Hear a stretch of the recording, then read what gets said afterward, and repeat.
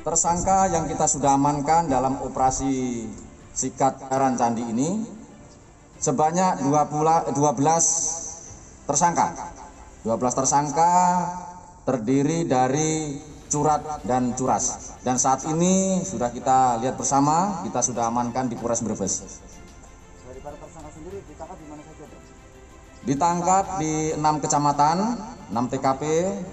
Yang pertama adalah Sirampok, Jatibarang, Kersana, Paguyangan, Tanjung, dan eh, Bulakamba. Khusus curas kita tangkap di Kecamatan Bulakamba.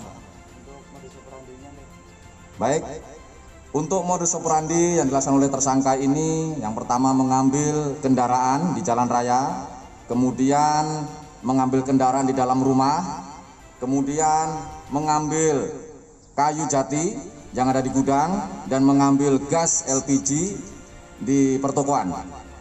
Kemudian eh, BB yang sudah kita ambil atau kita kumpulkan di Polres ini satu buah kendaraan R2, kemudian tabung gas, kemudian untuk ranmor sebanyak 12 kendaraan. Demikian.